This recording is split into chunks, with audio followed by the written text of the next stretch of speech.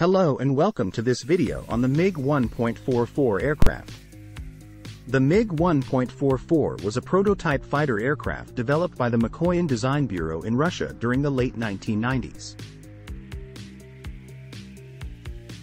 In this video, we will take a closer look at the MiG 1.44 and its unique design, performance capabilities, and the reasons why it was never produced. The MiG 1.44 was a fifth-generation fighter aircraft designed to compete with other advanced fighter planes developed by countries such as the United States.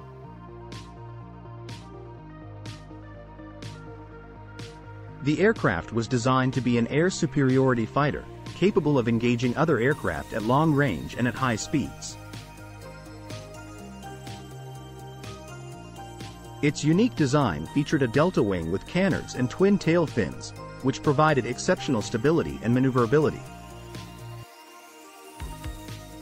The MiG 1.44 was powered by two Saturn 117S engines, AL41F, each producing 33,000 pounds of thrust. This gave the aircraft a top speed of Mach 2.25 and a range of up to 2,500 kilometers. The MiG 1.44 also had an impressive combat radius of over 1,000 kilometers.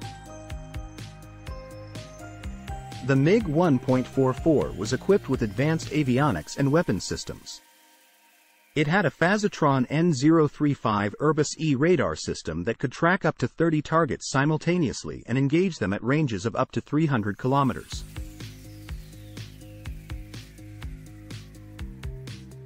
The aircraft's armament included a 30mm Gryazev Shipunov GSH-301 cannon with a rate of fire of 1,500 rounds per minute also had air-to-air -air missiles, including the Vympel R-77 and R-73.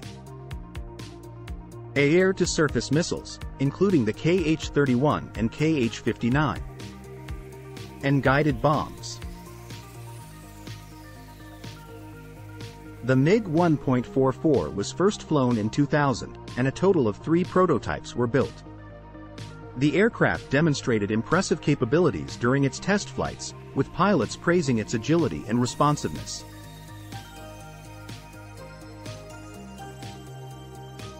However, the project was eventually cancelled due to a lack of funding and other issues, including disagreements among Russian military officials. Despite not entering production, the MiG 1.44 had a significant impact on the development of other fighter aircraft. The aircraft's advanced technologies, such as its stealth capabilities and avionics systems, were later incorporated into other Russian fighter aircraft. In conclusion, the MiG 1.44 was an advanced fighter aircraft that demonstrated the technological capabilities of the Russian aviation industry. Although it was never produced, its unique design and performance capabilities have had a lasting impact on the development of other fighter aircraft. Thank you for joining us for this video.